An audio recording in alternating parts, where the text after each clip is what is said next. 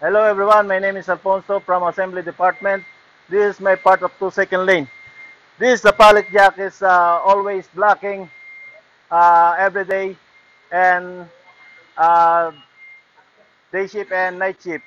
The the guy from uh, from paint, we have a delivery from uh, parts to unloading. We have a problem for this one because this one is not aligned. You can see. So I have a uh, a plan to remove this one. Now we have some area and this using for only a jack pallet.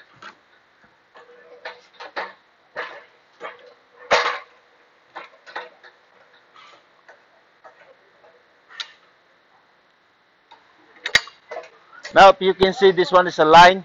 So no have disturbing to everyone. So thank you so much.